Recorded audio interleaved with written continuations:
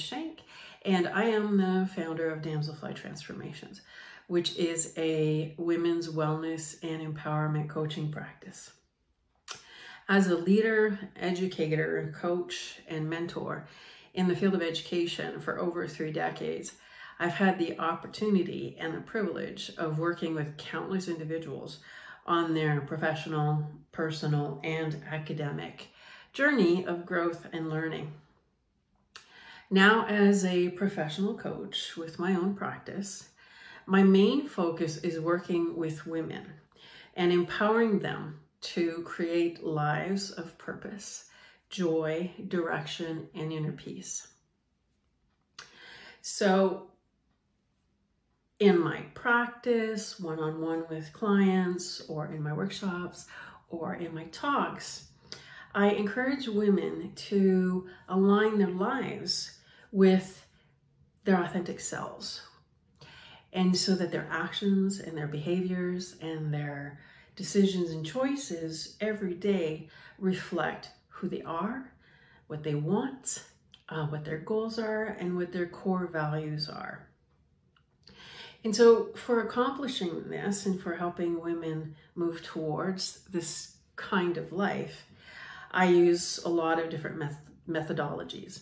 But two of my favorite, and two that I'd like to talk about in this video today, are visual, uh, visionary expressionism and chakra inspired self exploration. So, what are these two methodologies? So, the first one, visionary expressionism, is when we work on this, when I work on this with women, I guide women in diving deep into um, their subconscious, into their imagination, into their psyche, so that they can uncover and excavate those core values that are super important to them, their strengths, their areas for growth, uh, their biggest dreams and aspirations. And we do that using artistic creativity. So a variety of different artistic um, expressions, using different mediums to allow women to dig deep into who they are.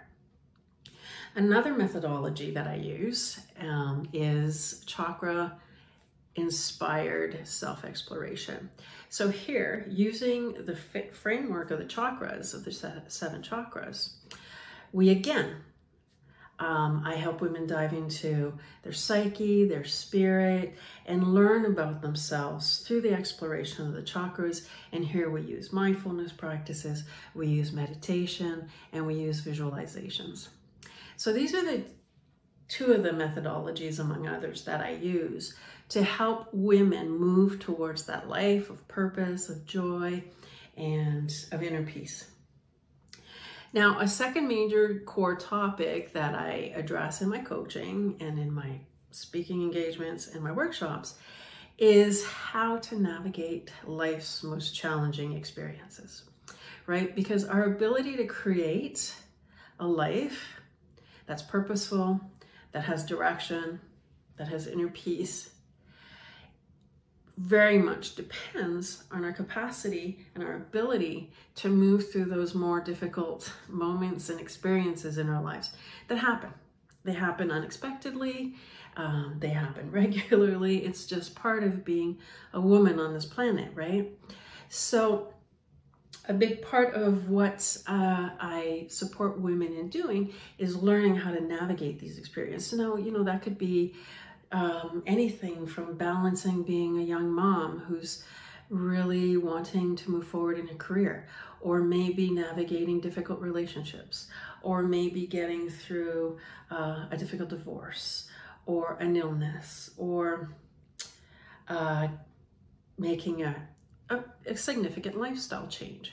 So whatever that challenge, that obstacle, that transition that you're navigating as a coach, my goal, one of my goals is to help you do that.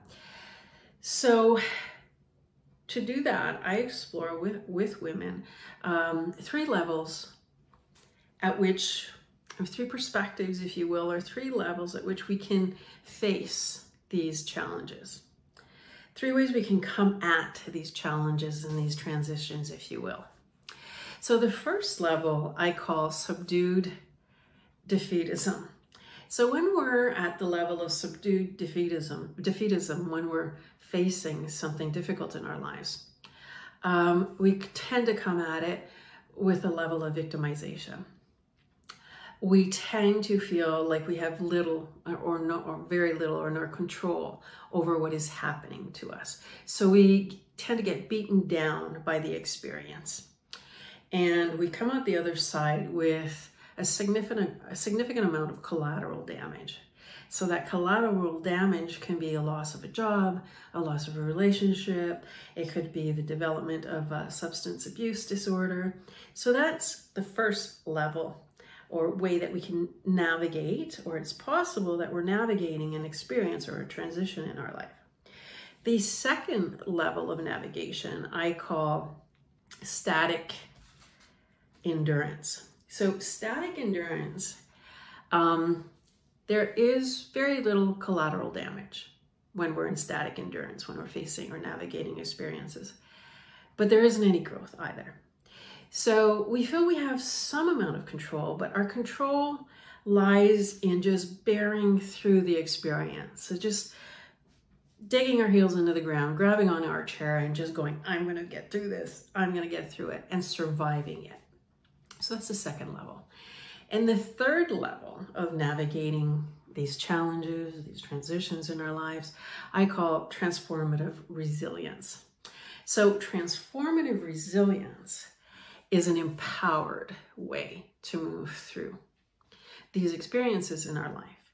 So, here we develop skills that allow us to really grab on to whatever we're going through and squeeze out of it every ounce of wisdom, every ounce of learning, every ounce of experience and knowledge and skill that we can so that we come out of the experience transformed, evolved as women.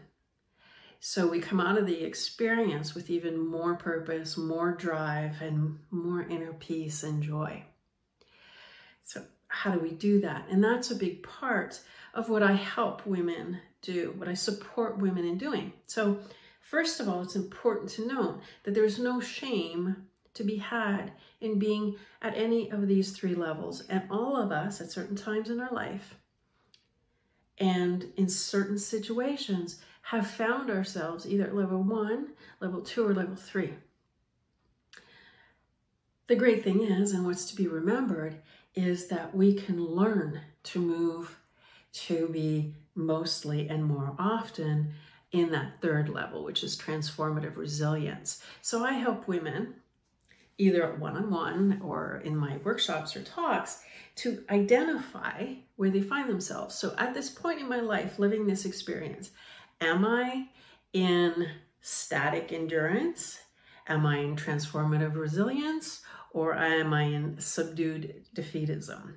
And once you know where you are, then we can work on developing the skills. You know where you are, why you're there, what's holding you back from moving forward into the second level or the third level. Is it a skill? Is it a mindset? Is it a, a, a, a reframing of a belief that you have?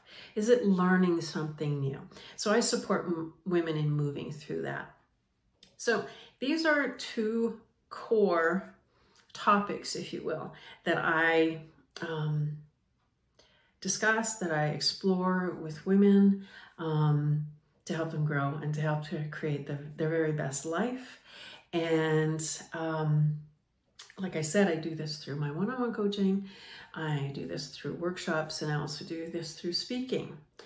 Um, so if you are interested in working with me on any of these topics and on the skills and the competencies for growth and learning and transformation, I invite you to reach out to me. You can reach me at joanne at damselflytransformations.com. That's my email. You can visit my website, which is Damselfly Transformations. I also have a blog. It's Damselfly Lessons Along the Way. And I also have a YouTube channel where I offer a series of meditations. So I'll I'll indicate, I'll put these links with this video so you can take a look at them. And uh, I look forward to connecting and maybe joining you on your journey of transformation and learning.